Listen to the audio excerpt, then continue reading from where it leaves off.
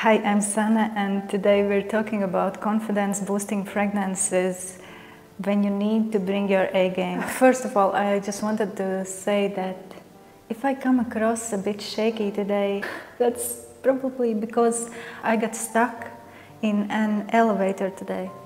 So um, I checked the box of one of my biggest fears and phobias, I guess. So that's out of the way, and now I can almost go skydiving or something, you know. Let's jump into this video. When I was thinking about this list of five fragrances that really boost confidence that helped me personally, the first perfume that came to my mind is Atomic Rose by Initio. This peppery rose garden with a touch of vanilla and an ambery base. It's so good, you guys. This is totally alpha in a bottle. You know, alpha vibe, it's sophisticated, it's chic, it's molecular, it's airy. Um, the rose feels very urban, chic. Atomic Rose to me smells like a confident lady. She has a plan A, a plan B, and a plan C under her sleeve. So you shouldn't mess with a person who wears Atomic Rose. The next perfume that comes to my mind when I think about the strong female go-getter vibe, I think about Le by Cartier. This is a scent of a CEO when she comes into the room, everybody knows she's a force to be reckoned with. You don't want to mess around the person who wears uh, by Cartier. I actually feel that Cartier perfumes, they all have a boss vibe about them. The main notes here are gardenia, lily of the valley with this petrichor after the rain smell, uh, white musk, and of course bergamot. I think I read somewhere that citruses and fragrances makes us more focused and we can um, be really focused and concentrated for a long period of time.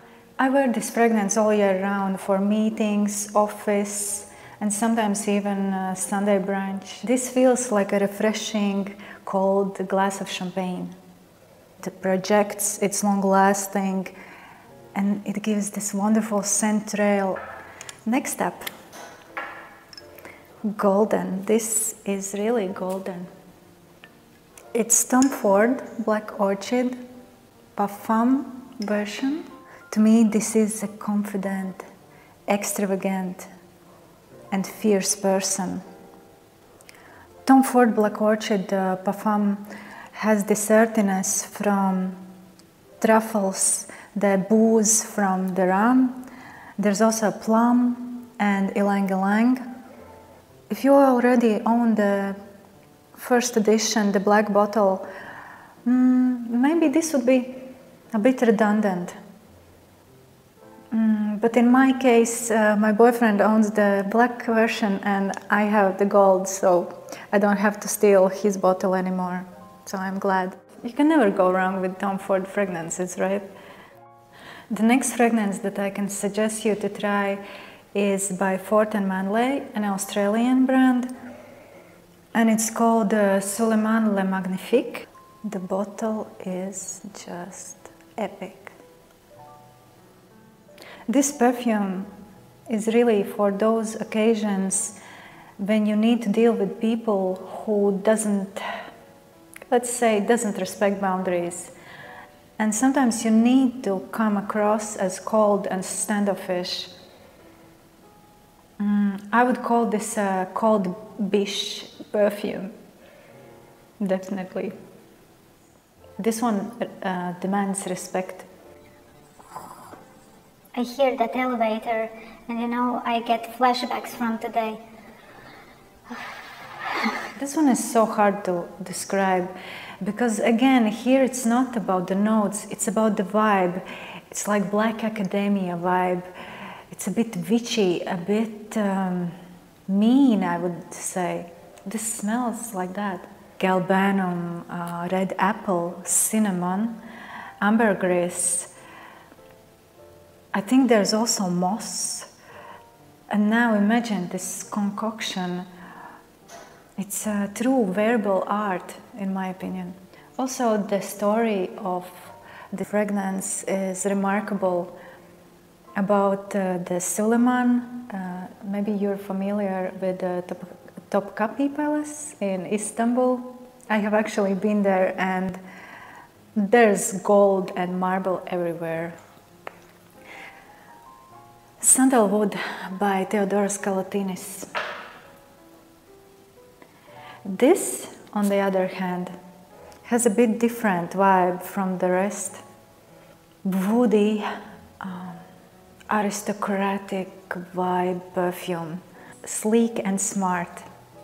There's oud, there's rock rose, there's also rum and sandalwood, of course. When I wear this fragrance, I feel grounded, I feel at peace, I feel like I'm in my Zen mood, but I'm ready to act. That's why I think this one is great for business meetings.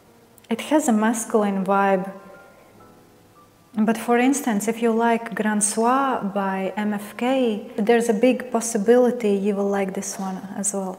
Sandalwood to me has this quiet confidence.